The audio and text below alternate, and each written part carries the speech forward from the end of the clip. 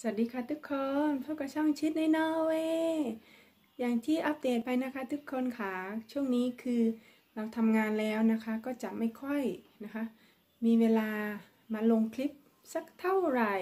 วันนี้นะคะ ก็เลยมีคลิปนะคะ สั้นๆนะคะ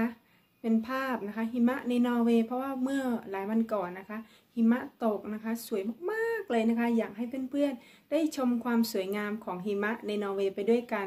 ก็เดี๋ยวไปชมภาพสวยๆหิมะในนอร์เวย์กันเลยค่ะ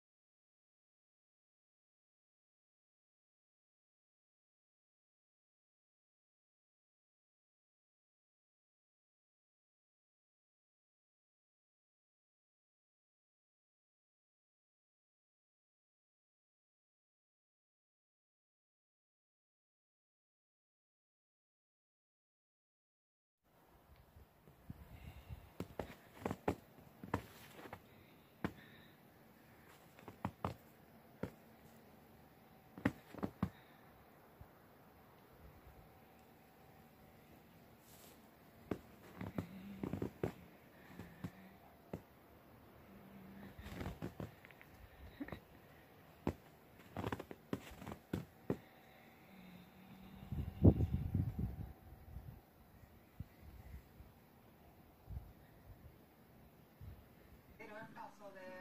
mm, medaljen, det betyr litt for ham. Absolutt. Han eh, har jo det, altså, Når du skøyter opp i Norge, så reiser du veldig mye. Og eh, han har kanskje hatt så veldig lyst til å reise eh, det siste halvåret eh, når han har fått ei, datter.